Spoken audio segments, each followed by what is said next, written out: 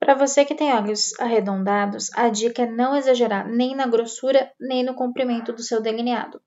Um delineado de grossura média com uma cauda média vai te ajudar a alongar o seu olhar.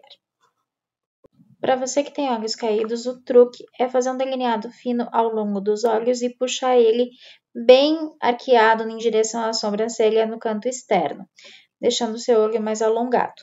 Em olhos amendoados, a dica é começar com um traço bem fino e engrossando à medida que vai se aproximando do canto externo e não puxar tanto a cauda do delineado, deixar ela mais discreta. Já para quem tem olhos orientais, a dica também é começar bem fininho e engrossando o delineado ao longo do olho até chegar no canto externo. E você pode puxar bem a cauda do seu delineado.